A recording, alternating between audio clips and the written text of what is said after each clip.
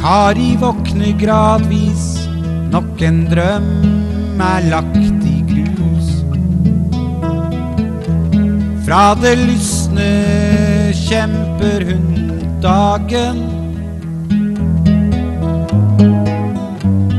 Med musikk på høytrykk og i lovlig rus. Går hun som en fremmed i sitt eget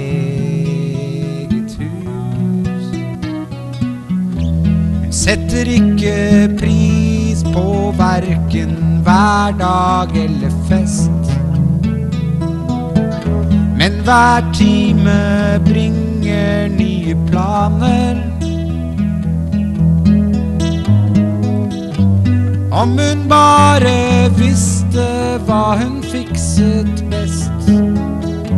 Det er det nødvendige som plager Kari mest. Men det er bare nerver, ingenting å bry seg om. Ja, det er bare nerver. Barndommen er glemt, historien bak er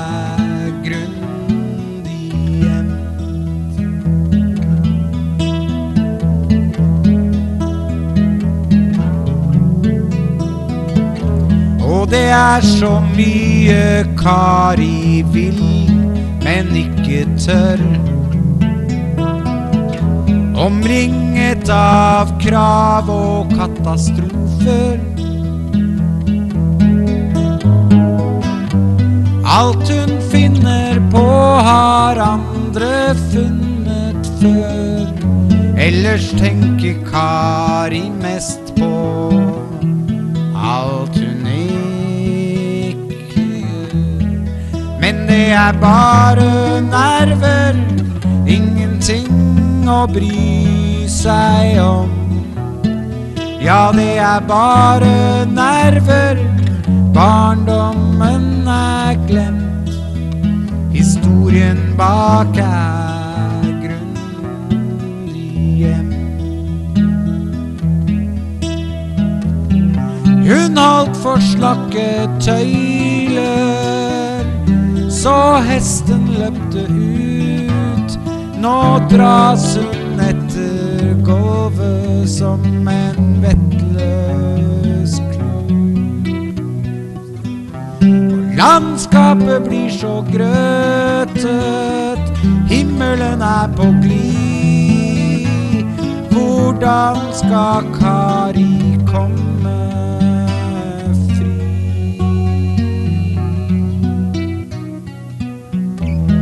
er interessante ting som får hun til å slåss. Men hun er så redd, hun vet for lite. For å vinne må hun prate som en foss. Før hun sitter ned, så vet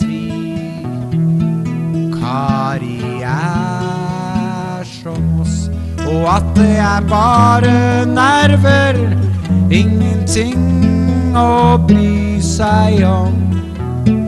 Ja, det er bare nerver, barndommen er glemt. Historien bak er grundig gjemt. Ja, det er bare nerver, ingenting å bry seg om.